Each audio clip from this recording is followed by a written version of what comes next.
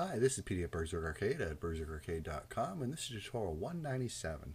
So we were still working on our saving of character data.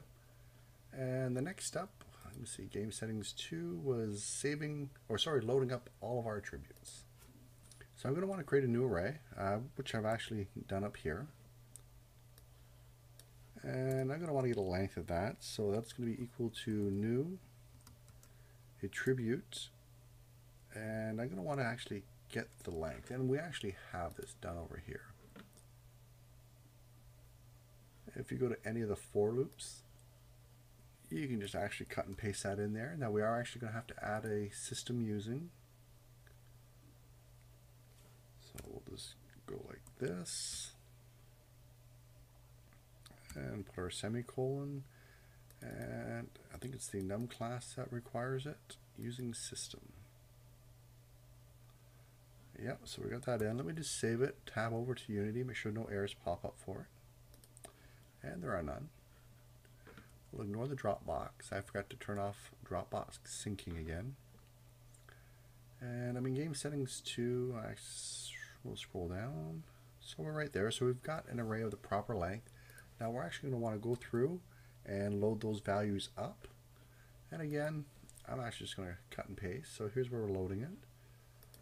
Uh, I'm just going to cut and paste the whole thing for the tributes and we'll use that as a starting template.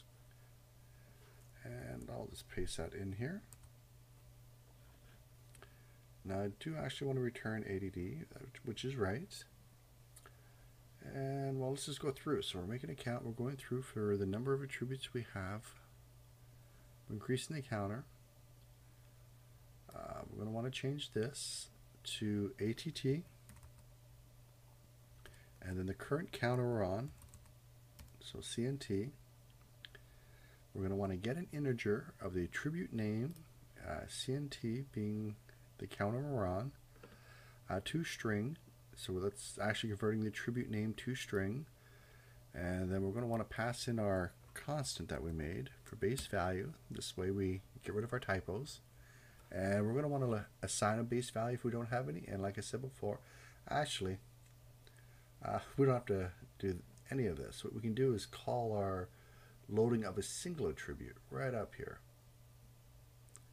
So we've already got the functionality done. Uh, let's just use it.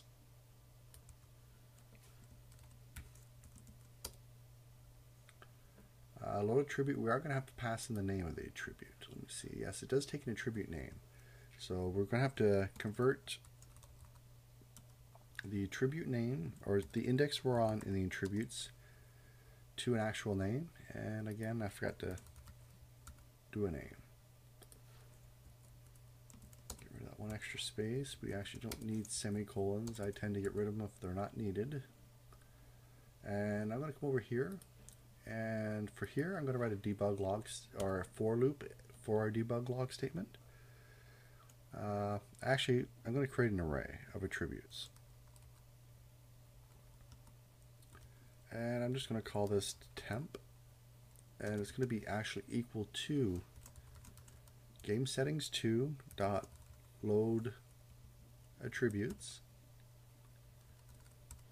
Uh, this way here I'm grabbing all the attributes that are saved and I just want to debug log out uh, well their values. So for int cnt is equal to 0 cnt is less than uh, what I call it temp dot length. Uh, we'll increase CNT, and then we're going to debug out uh, debug log out the values. Uh, so we'll just do. Well, we can delete a lot of this. ATT dot. I'm sorry, not ATT. It's temp now. Temp dot base value. Uh, oops, sorry, we got to tell it the index base value. Okay, so we got that. And I go hit the keyboard again. so we can also do the same thing here. Temp, CNT, and then the experience to level. And that should be fine. I'm actually going to get rid of this one. Well, sorry, I don't want to get rid of that. I'm just going to put a space in there. Because we are going to have to enable that after. So we'll go back in. I'll make sure there's no errors. There is none. We'll start her out. And uh, I'll just randomly assign values here.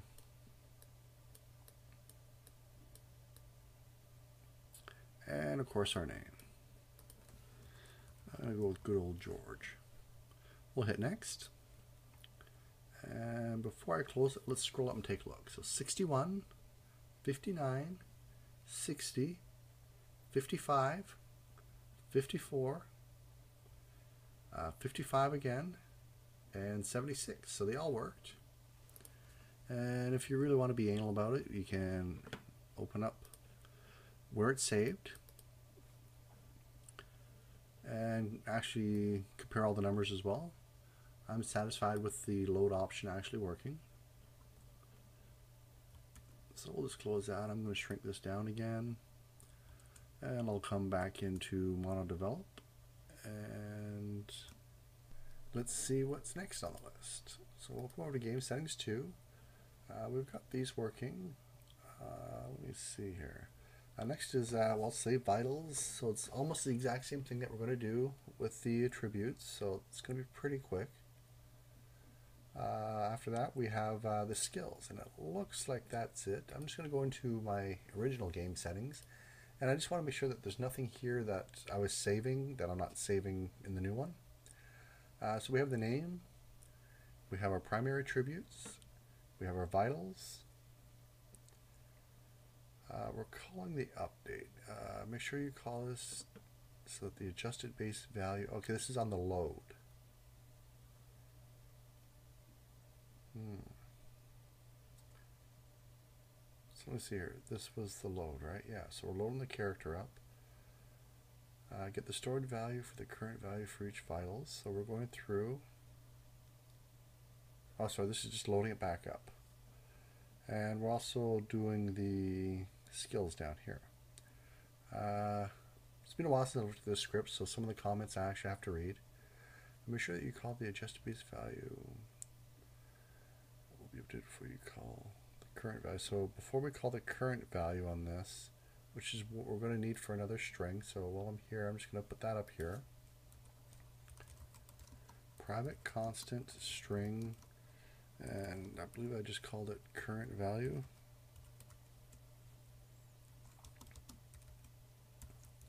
And, Oops, just like the other one. Uh, I just want to actually have the names the same now. So we're actually saying cur value.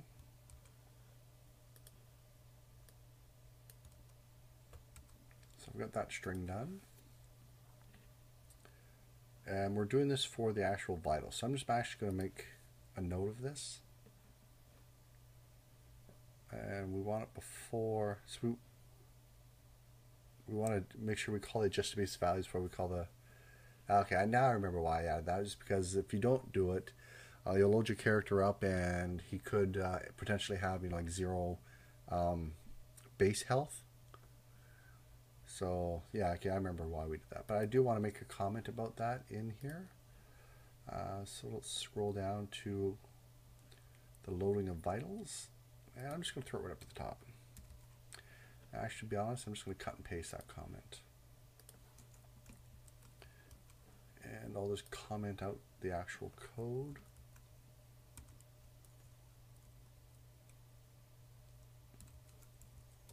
And we'll bring that in and that in.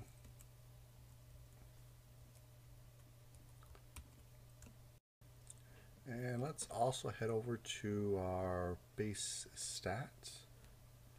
Uh, sorry, it wasn't base stat. I think it was base character.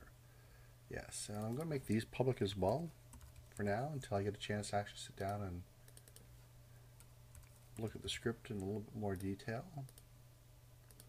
So I'll just refactor, rename, and we'll just get rid of the underscore in front of it. And likewise with skill.